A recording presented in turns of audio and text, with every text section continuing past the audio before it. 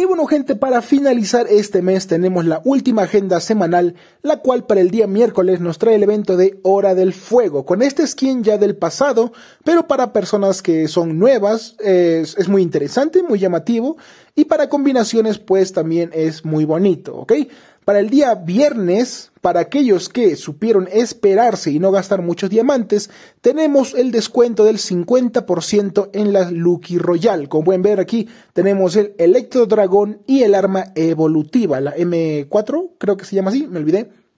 Junto a esto llega la Torre del Rey, con esta bandana y con este skin que sinceramente no, no me gusta mucho, pero bueno, ahí está. Y también tenemos la recarga Glue obviamente una cajita del arma evolutiva y también esta pared glue muy pero que muy tétrica, bonita, interesante al menos para mí, ¿ok? Para aquellos que ya la tengan, pues eh, no les va a gustar mucho.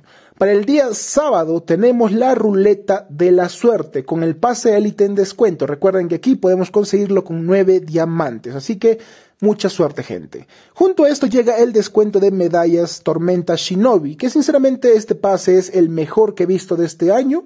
Eh, sinceramente no, no he visto otro mejor, todos son simples. Y nada más. Eh, obviamente llega la preorden del pase con este vehículo, mm, no me gusta mucho, bueno, ustedes ya depende si lo quieren o no. Eh, para el día lunes tenemos el nuevo Armas Royal con un sniper bastante simple, supongo que tendrá dos puntos en algo, uno uno y un punto negativo. Y junto a esto llega la recarga de katana, con una katana con un, con un efecto de sombra bastante interesante y un maquillaje, ¿ok? Para el día martes finalizamos con el lanzamiento del nuevo pase élite. Eh, sinceramente tenía la vara muy alta considerando el pase actual, pero bueno, ya bajamos la calidad del pase de nuevo.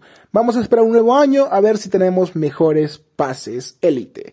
Junto a esto llega la ruleta mágica con la contraparte de la Torre del Rey del día viernes, que es eh, una, obviamente una skin femenina y también un emote que tiene tres fases, si no mal recuerdo, es del Día de los Muertos, obviamente inspirado en México, lo cual está bien, no me quejo, pero nada más gente, este es el último pase, mejor dicho, último, última agenda semanal, sin nada más que decir, cuídense mucho y bye.